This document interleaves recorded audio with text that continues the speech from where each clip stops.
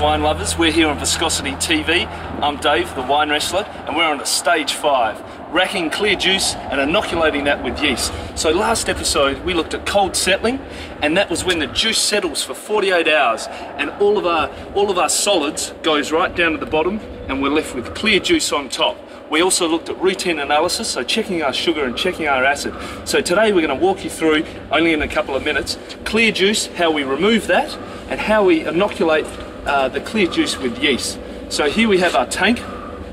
Now we've got that clear juice up top, and for the last hour we've been pumping that clear juice away, and it's come down to a level at the door here. So we do that by pumping it off our racking valve, which is here, through a pump, and that pumps it away to the next tank. So by our clear juice, here's our Sauvignon Blanc, Marlborough Sauvignon Blanc, just beautiful. That's clear, absolutely fantastic, and that's being pumped into the tank next door and is ready to be inoculated with the yeast. Now below, we've got our juice lees, and that's the part we need to refilter.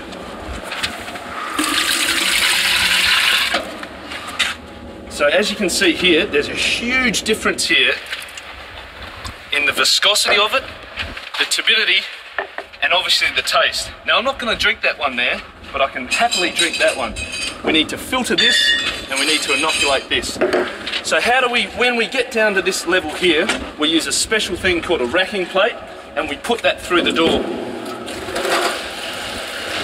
And that's our racking plate there.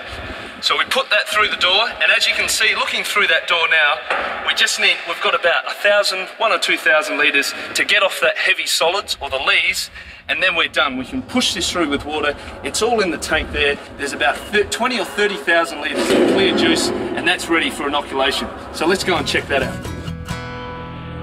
Hi guys, now here we are, we've got our clear juice which we've just pumped over into here. Now that's sitting at 15, 16 degrees and we're ready to add our yeast and prepare those yeast. So what we've got, we've got our dried yeast here.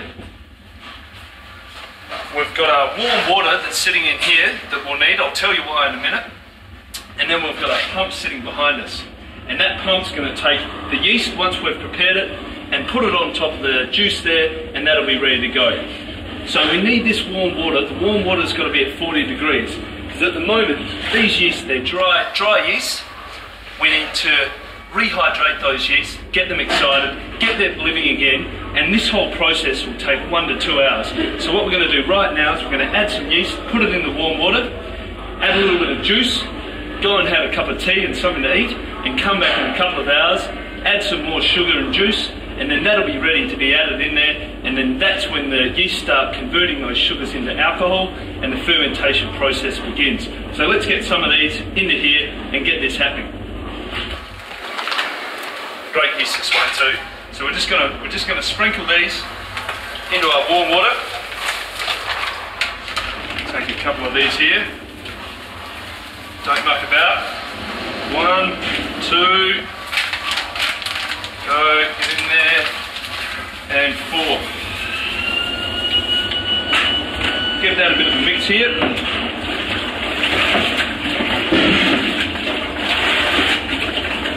And that's what it looks like there. So we've gone from clear water into this yeasty mix here. It's at 40 degrees. We're going to come back in about half an hour, add a bit of juice and get them excited. They just need a bit of time here to get organised. But when we come back, they'll be ready to go on for some juice.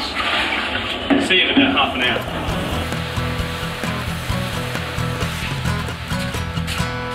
Well, have a look at this, guys. I've just had smoke on 30 minutes later, and here we've come back, and our yeast have got a little bit excited here. We've got all of those yeast, a little bit of juice in there, and look what's happened. It's starting to overflow. Now, basically, this is just all of this CO2 being produced, and the yeast eating up those sugars, Still nice and warm, it's probably about 30 degrees now, but that's looking good to go. So what we're going to do is we're going to pump this into our clean juice, and that'll be in fermentation, and that's when that fermentation process will begin. So our tank here did have clean, clear juice that we saw just, just before in our racking. It's now, we've prepared our yeast, and our yeast is now eating all that sugar and converting that into alcohol. And then, that's how we get the wine. So by pumping this into there, that's now inoculated, that tank's in ferment, and the fermentation process begins. See you next time on Viscosity TV.